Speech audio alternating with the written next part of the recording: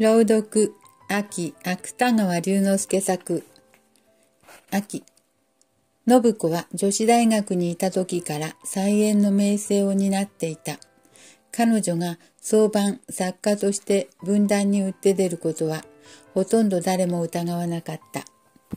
中には彼女が在学中すでに300何枚かの自助伝大小説を書き上げたなどと不意調して歩くものもあった。が、学校を卒業してみると、まだ女学校も出ていない妹の照子と彼女とを抱えて御家を立て通した、立て通してきた母の手前も、そうはわがままを言われない。複雑な事情もないではなかった。そこで彼女は創作を始める前に、まず世間の習慣通り、縁談から決めてかかるべく余儀なくされた。彼女には俊吉といういとこがあった。彼は当時まだ大学の文化に席を置いていたが、やはり将来は作家仲間に身を投ずる意志があるらしかった。信子はこのいとこの大学生と昔から親しく往来していた。それが互いに文学という共通の話題ができてからは、いよいよ親しみが増したようであった。ただ彼は信子と違って、当世流行のトルストイズムなどには一向敬意を表さなかった。そうして始終フランス仕込みの皮肉や稽古ばかり並べていた。こういう春吉の霊障的な態度は時々万事真面目な信子を怒らせてしまうことがあった。が彼女は怒りながらも春吉の皮肉や稽古の中に何か軽蔑できないものを感じないわけにはいかなかった。だから彼女は在学中も彼と一緒に展覧会や音楽会へ行くことが稀ではなかった。もっとも大抵そんな時には妹の照子も一緒であった。彼ら三人は行きも帰りも気兼ねなく笑ったり話したりした。が、妹の照子だけは時々話の県外へ置き去りにされることもあった。それでも照子は子供らしく、飾り窓の中のパラソルや絹のショールを覗き歩いて、格別、観客されたことを不平に思ってもいないらしかった。信子はしかし、それに気がつくと必ず和刀を転換してすぐにまた元の通り妹にも口を聞かせようとした。そのくせまず照子を忘れるものはいつも信子自身であった。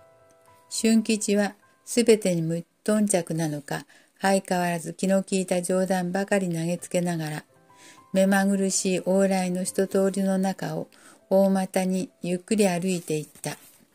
信子といとことの間柄は、もちろん誰の目に見ても来たるべき彼らの結婚を予想されるのにされるのに十分であった。同窓たちは彼女の未来を天でに羨んだり妬んだりした。ことに春吉を知らない者は、滑稽というより他はないが、一層これが甚だしかった。信子もまた一方では彼らの推測を打ち消しながら、他方ではその確かなことをそれとなく恋にほのめかせたりした。したがって同窓たちの頭の中には彼らが学校を出るまでの間にいつか彼女と俊吉との姿があたかも新武神郎の写真のごとく一緒にはっきりと焼き付けられていた。ところが学校を卒業すると信子は彼らの予期に反して大阪のある商事会社へ近頃勤務することになった交渉出身の青年と突然結婚してしまった。そうして式後2、3日してから神父と一緒に勤め先の大阪へ向けて立ってしまった。その時、中央停車場へ見送りに行った者の話によると、信子はいつもと変わりなく晴れ晴れした微笑を浮かべながら、ともすれば涙を落としがちな妹の照子をいろいろと慰めていたということであった。同窓たちは皆不思議があった。その不思議がある心の内には、妙に嬉しい感情と、前とは全然違った意味で妬ましい感情とが交わっていた。ある者は彼女を信頼して全てを母親の意志に帰した。またある者は彼女を疑って心変わりをしたとも言いふらした。が、それらの解釈が結局想像に過ぎないことは彼ら自身さえ知らないわけではなかった。彼女はなぜ俊吉と結婚しなかったか。彼らはその後しばらくの間、夜と触ると従来体らしく、必ずこの疑問を話題にした。そうしてかれこれ二月ばかり経つと、全く信子を忘れてしまった。もちろん彼女が書くはずだった長編小説の噂なども。信子はそのうちに大阪の郊外へ幸福なるべき新家庭を作った。彼らの家はその界隈でも最も閑静な松林にあった。松ヤニの匂いと日の光と、それがいつでも夫の留守は2階建ての新しい借家の中に生き生きした沈黙を促していた。信子はそういう寂しい午後、時々理由もなく気が沈むと、きっと針箱の引き出しを開けては、その底に畳んでしまってある桃色の書簡線を広げてみた。書簡線の上にはこんなことが、こまごまとペンで書いてあった。もう今日限りお姉様とご一緒にいることができないと思うと、これを書いている間でさえ、とめどなく涙が溢れてきます。お姉様、どうかどうか私をお許しください。テル子はもったいないお姉様の犠牲の前に何と申し上げていいかもわからずにおります。お姉様は私のために今度のご縁談をお決めになりました。そうではないとおっしゃっても私にはよくわかっております。いつぞやご一緒に帝劇を見物した晩、お姉様は私に、俊さんは好きかとお聞きになりました。それからまた好きならばお姉様がきっと骨を折るから、俊さんのところへ行けともおっしゃいました。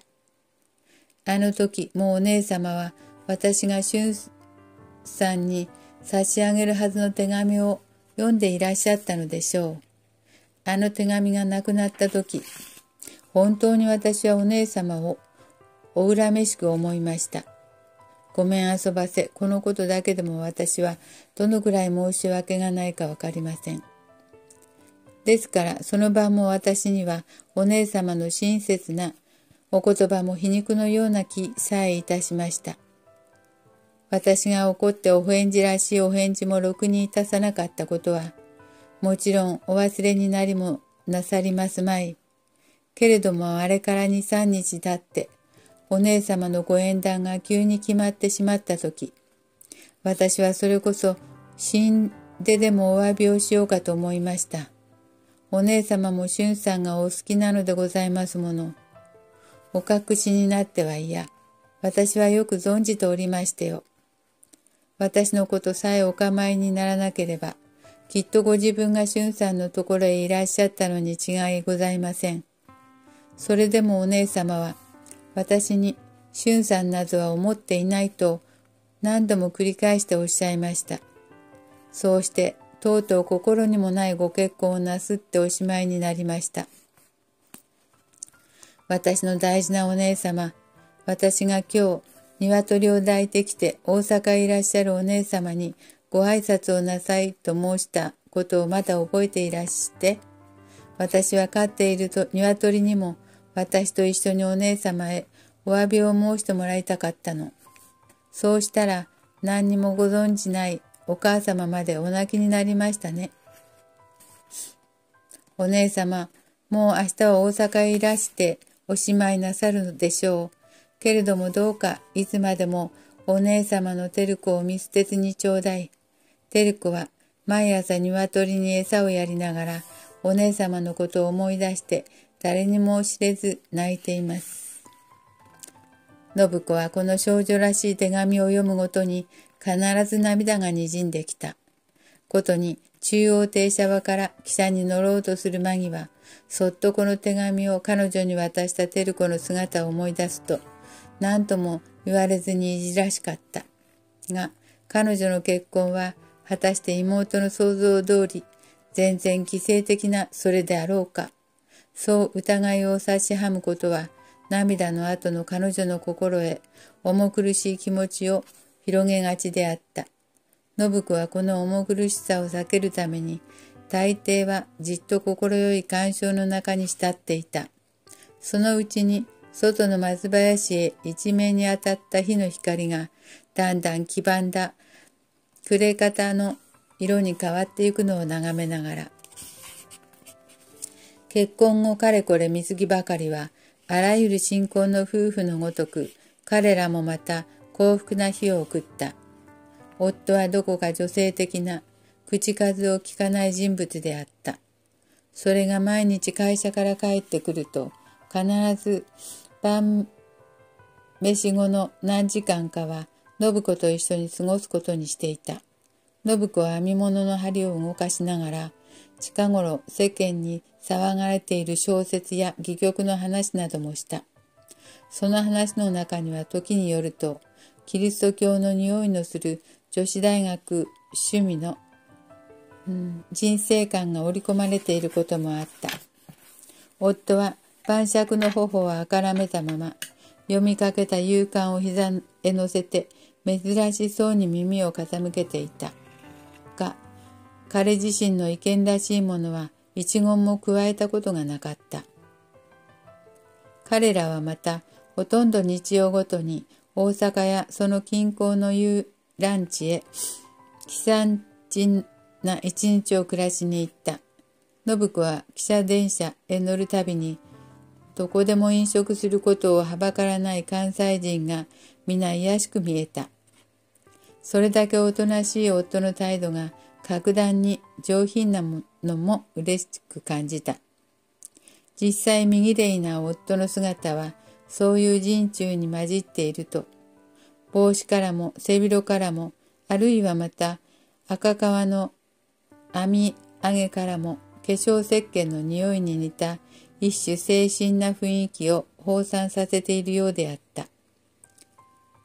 ことに夏の休暇中、舞妓まで足を伸ばした時には、同じ茶屋に気合わせた夫の同僚たちに比べてみて、一層誇りがましいような心持ちがせずにはいられなかった。が夫はその下びた同僚たちに存外親しみを持っているらしかった。そのうちに信子は長い間捨ててあった創作を思い出した。そこで夫の留守のうちだけ一、二時間ずつ机に向かうことにした。夫はその話を聞くと、いよいよ女流作家になるかね、と言って優しい口元に薄笑いを見せた。しかし机には向かうにしても思いのほかペンは進まなかった。彼女はぼんやり頬杖をついて炎天の松林の蝉の声に我知らず耳を傾けている彼女自身を見出しがちであった。ところが残暑が初秋へ振り返ろうとする自分。夫はある日、うん、会社の出がけに汗じみた襟を取り替えようとした。が、あいにく襟は一本残らず洗濯屋の手に渡っていた。夫は日頃右霊なだけに不快らしく顔を曇らせた。そうしてズボン釣りをかけながら、小説ばかり書いてちゃ困る。と、いつになく嫌味を言った。信子は黙って目を伏せて、上着の誇りを払っていた。それから二三日過ぎたある夜、夫は勇敢に出ていた食料問題から月々の経費をもう少し軽減できないものかと言い出した。お前だっていつまでも女学生じゃあるまいし、そんなことも口へ出した。信子は気のない返事をしながら、夫の襟からざりのろざしをしていた。すると夫は意外なくらい必要に、その襟飾りにしてもさ、買う方がかえって安くつくじゃないか。と、やはりネチネチした調子で言った。彼女はなおさら口が聞けなくなった。夫もしまいにはしらけた顔をしてつまらなさそうに商売向きの雑誌か何かばかり読んでいた。が、寝室の電灯を消してから、信子は夫に背を向けたまま、もう小説なんぞ書きません、と囁くような声で言った。夫はそれでも黙っていた。しばらくして彼女は同じ言葉を前よりもかすかに繰り返した。それから間もなく、泣く声が漏れた。夫は二言三言彼女を叱った。その後でも彼女のすすり泣きはまだ絶え絶えに聞こえていた。が、信子はいつの間にかしっかりと夫にすがっていた。翌日彼らはまた元の通り仲のいい夫婦に帰っていた。と思うと今度は12時過ぎてもまだ夫が会社から帰ってこない晩があった。しかもようやく帰ってくると雨街灯も一人では脱げないほど酒臭い匂いを息していた。信子は眉を潜めながら海外しく夫に着替えさせた。夫はそれにもかかわらず回らない舌で皮肉さえ言った。今夜は僕が帰らなかったからよっぽど小説がはかどったろう。そういう言葉が何度となく女のような口から出た。彼女はその晩床に入ると思わず涙がほろほろ落ちた。こんなところを照子が見たらどんなに一緒に泣いてくれるであろう。照子、照子。私が頼りに思うのはたったお前一人きりだ。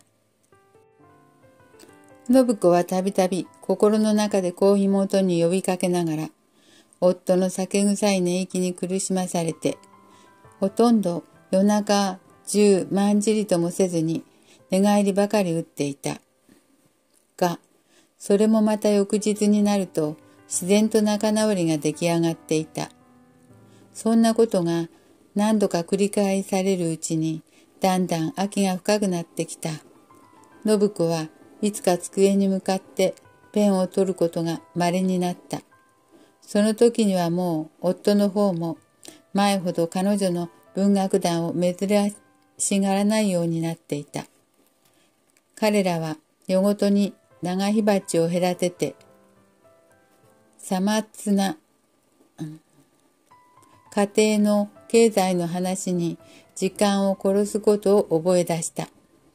その上またこういう話題は少なくとも晩酌後の夫にとって最も興味があるらしかった。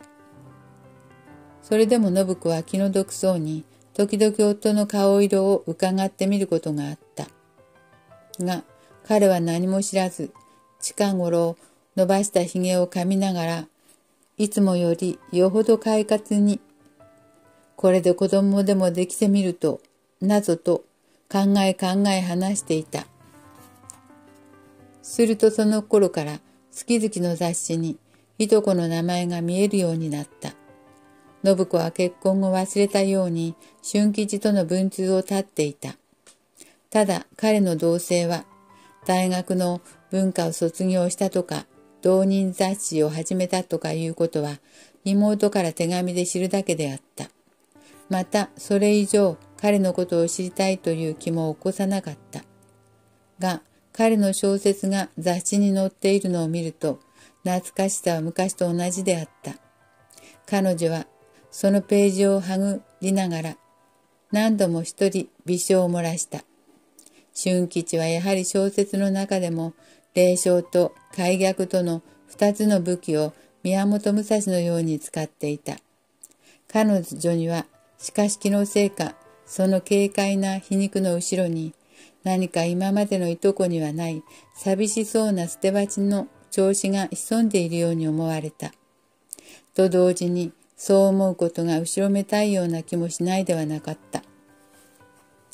信子はそれ以来夫に対して一層優しく振る舞うようになった。夫は夜寒の長火鉢の向こうに、いつも晴れ晴れと微笑している彼女の顔を見出した。その顔は以前より若々しく、化粧をしているのが常であった。彼女は針仕事の店を広げながら、彼らが東京で式を挙げた当時の記憶なども話したりした。夫にはその記憶の細かいのが意外でもあり、嬉しそうでもあった。お前はよくそんなことまで覚えているね。夫にこうからかわれると、信子は必ず無言のまま目にだけこびのある返事を見せた。が、なぜそれほど忘れずにいるか。彼女自身も心の中では不思議に思うことがたびたびあった。それからほどなく母の手紙が信子に妹の結納が済んだということを報じてきた。その手紙の中にはまた、俊吉が照子を迎えるために山手のある郊外へ新居を設けたことも付け加えてあった。彼女は早速母と妹へ長い祝いの手紙を書いた。何分東方は無人ゆえ式には不本意ながら参りかねそうらえども。そんな文句を書いているうちに彼女にはなぜかわからなかったが、筆の渋ることも再三あった。すると彼女は目を上げて、深外の、うん、松林を眺めた。松は初冬の空の下に、そうそうと青黒く茂っていた。その晩信子と夫とは、照子の結婚を話題にした。夫はいつもの薄笑いを浮かべながら、彼女が妹の口真似をするのを面白そうに聞いていた。が、彼女にはなんとなく、彼女自身に照子のことを話しているような心持ちがした。どれ寝るかな？二三時間の後、夫は柔らかな髭を撫でながら、大義そうに長火鉢の前を離れた。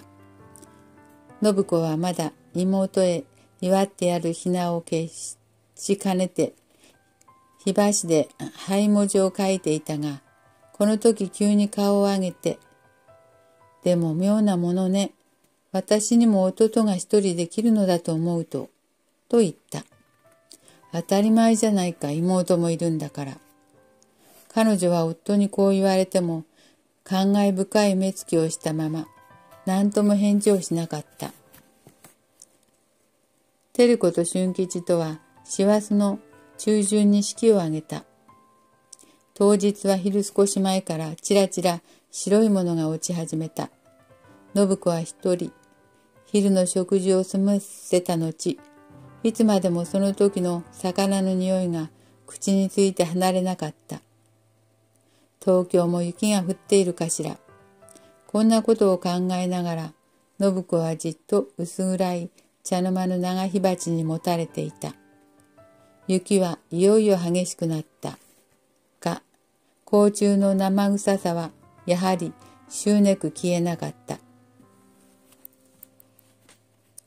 信子はその翌年の秋、社名を帯びた夫と一緒に久しぶりで東京の土を踏んだ。が、短い日限内に果たすべき用向きの多かった夫は、ただ彼女の母親のところへ、気早々顔を出した時のほかは、ほとんど一日も彼女を連れて外出する機会を見出せなかった。彼女はそこで妹夫婦の郊外の新居を訪ねる時も、深海縮みた電車の終点から、たった一人車に揺られていった。彼らの家は町並みがネギ畑に移る近くにあった。しかし隣近所にはいずれも借家らしい新築がせせこましく軒を並べていた。軒打ちの門、要餅の柿、それから竿に干した洗濯物、すべてがどの家も変わりはなかった。この平凡な住まいの様子は多少信子を失望させた。が、彼女が案内を求めた時、声に応じて出てきたのは意外にもいとこの方であった。俊吉は以前と同じようにこの珍客の顔を見ると、やーっと快活な声を上げた。彼女は彼がいつの間にかいがぐり頭ではなくなったのを見た。しばらく、さあ、お上がり。あいにく僕一人だが。テルコは留守？使いに行った女中も。信子は妙に恥ずかしさを感じながら派手な裏のついたコートをそっと玄関の隅に脱いだ。俊吉は彼女を書斎兼客間の八畳へ座らせた。座敷の中にはどこを見ても本ばかり乱雑に積んであった。ことに午後の日の当たった障子際の小さな下の机の周りには新聞雑誌や原稿用紙が手のつけようもないほど散らかっていた。その中に若い細君の存在を語っているものは、ただ床の間の壁に立てかけた新しい一面のことだけであった。信子はこういう周囲からしばらく物珍しい目を離さなかった。来ることは手紙で知っていたけれど、今日来ようとは思わなかった。俊吉は巻きタバコへ火をつけると、さすがに懐かしそうな目つきをした。どうです？大阪のご生活は。俊さんこそいかが？幸せ？信子もまた、二言三言話すうちに、やはり昔のような懐かしさが蘇ってくるのを意識した。文通さえろくにしなかったかれこれ二年越しの気まずい記憶は、思ったより彼女を割る、煩わさなかった。彼らは一つ火鉢に手をかざしながら、いろいろなことを話し合った。春吉の小説だの、共通な知人の噂だの、東京と大阪との比較だの、話題はいくら話しても尽きないくらいたくさんあった。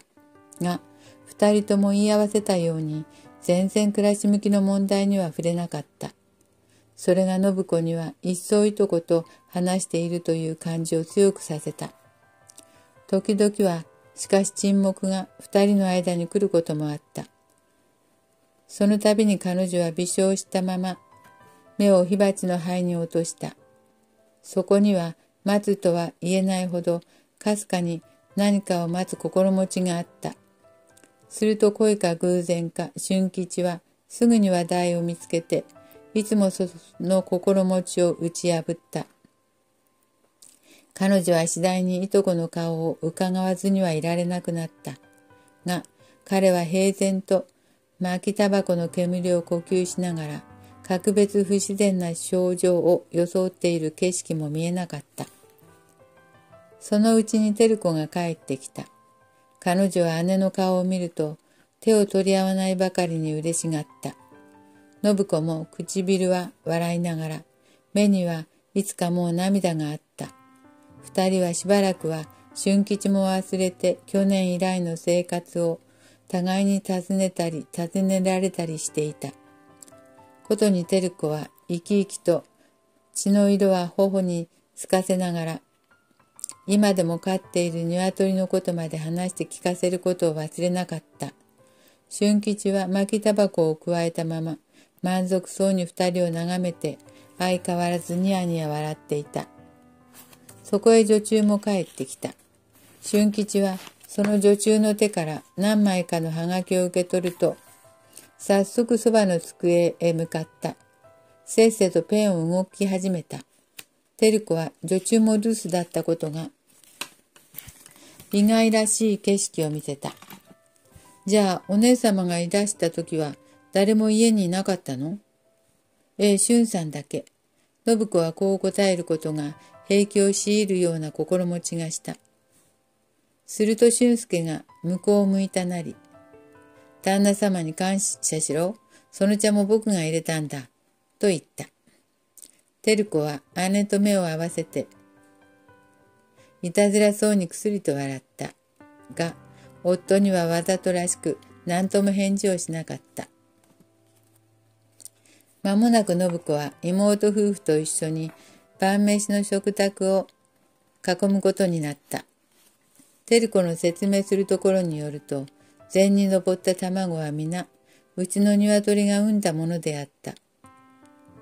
俊吉は信子にぶどう酒を勧めながら人間の生活は略奪で持っているんだね。師匠はこの卵から、などと社会主義じみた理屈を並べたりした。そのくせ、ここにいる三人の中で一番卵に愛着のあるのは俊吉自身に違いなかった。照子はそれがおかしいと言って子供のような笑い声を立てた。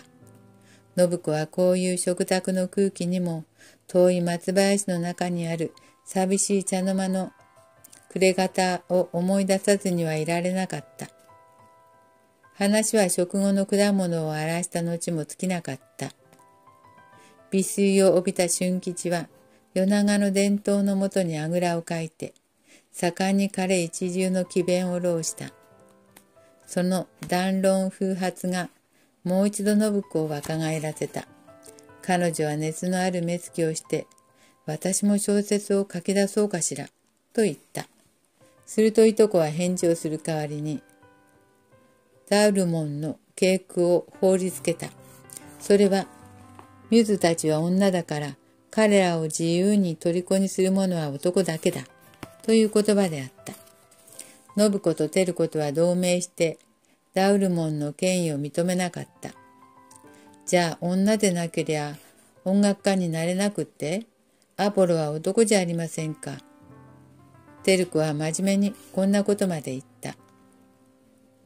そのいとまに夜が更けた。信子はとうとう泊まることになった。寝る前に俊吉は縁側の雨戸を一枚開けて寝巻きのまま狭い庭へ降りた。それから誰を呼ぶともなく、ちょいと出てごらん、言いつきだから、と声をかけた。信子は一人、彼の後から靴脱ぎの庭下駄へ足を下ろした。足袋を脱いだ彼女の足には冷たい梅雨の感じがあった。月は庭の隅にある痩せがれたヒノキの梢にあった。いとこはそのヒノキの下に立って薄明るい夜空を眺めていた。大変草が生えているのね。信子は荒れた庭を気味悪そうにおずおず彼のいる方へ歩み寄った。が、彼はやはり空を見ながら、十三夜かな、とつぶやいただけであった。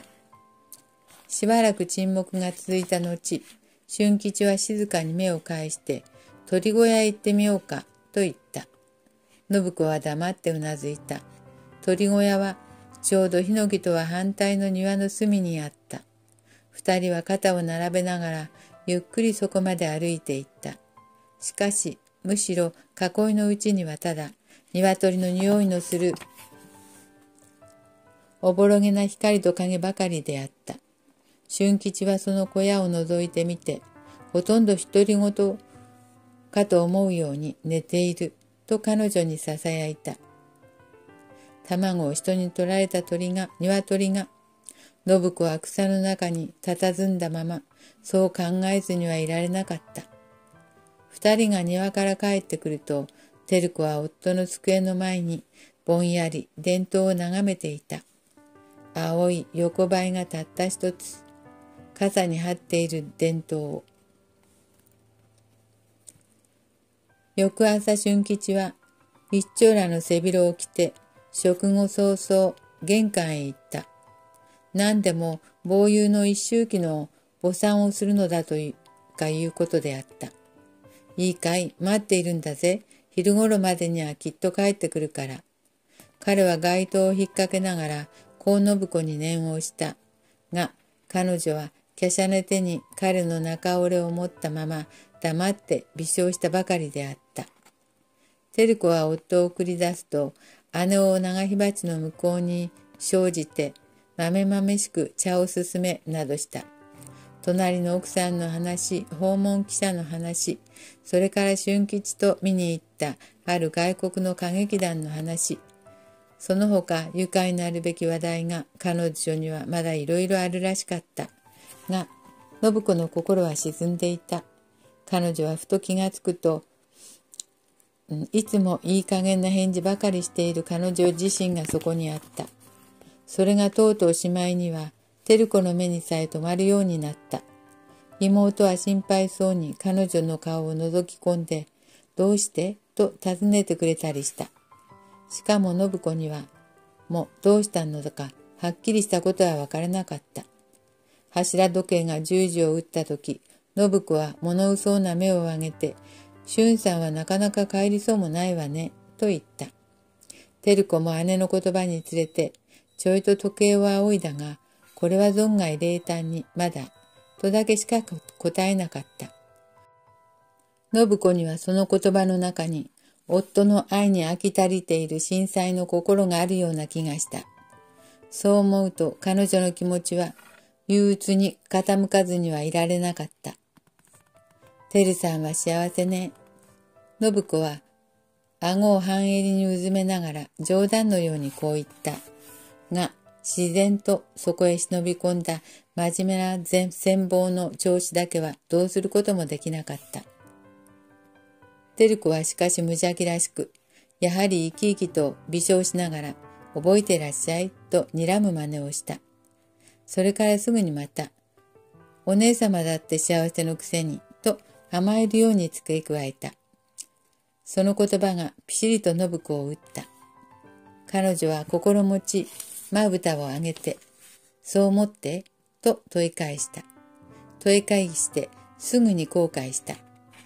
照子は一瞬間妙な顔をして姉と目を見合わせた。その顔にもまた、覆いがたい後悔の色が動いていた。信子は強いて微笑した。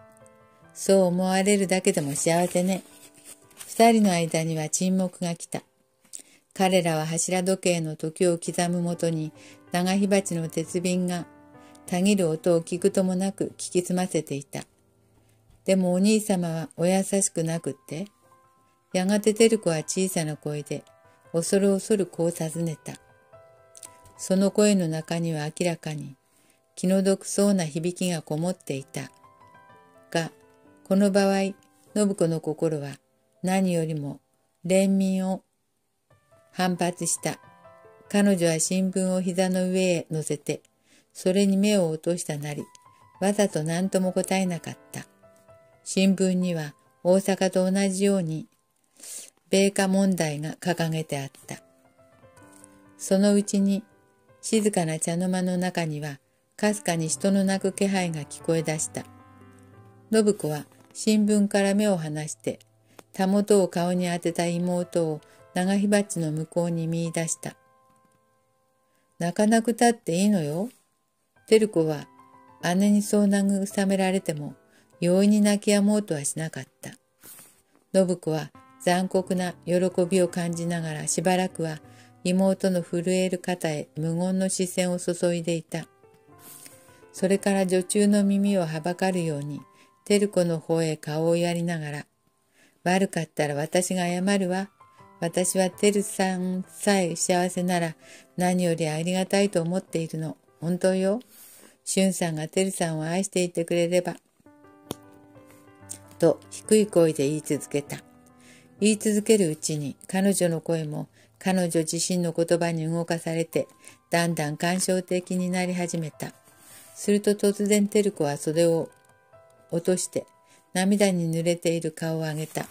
彼女の目の中には意外なことに悲しみも怒りも見えなかった。が、ただ抑えきれない嫉妬の情が燃えるように瞳をほたらせていた。じゃあお姉様は、お姉様はなぜ夕べも。照子は皆まで言わないうちに、また顔を袖に埋めて、発作的に激しく泣き始めた。二三時間の後、信子は電車の終点に急ぐべく、幌車の上に揺られていた。彼女の目に入る外の世界は、全部の幌を切り抜いた四角なセルロイドの窓だけであった。そこにはバスへらしい家々と色づいた雑木の梢とがおもむろに、しかも絶え間なく後ろへ後ろへと流れていった。もしその中に一つでも動かないものがあれば、それは薄雲を漂わせた冷ややかな秋の空だけであった。彼女の心は静かだったが、その静かさを支配する者は寂しい諦めに他ならなかった。照子の発作が終わった後、和解は新しい涙とともにたやすく二人を元の通り仲の良い兄弟に返していた。しかし事実は事実として今でも信子の心を離れなかった。彼女はいとこの帰りも待たず、この車上に身を託した時、すでに妹とは永久に他人になったような心持ちが意地悪く彼女の胸の中に氷を張らせていたのであった。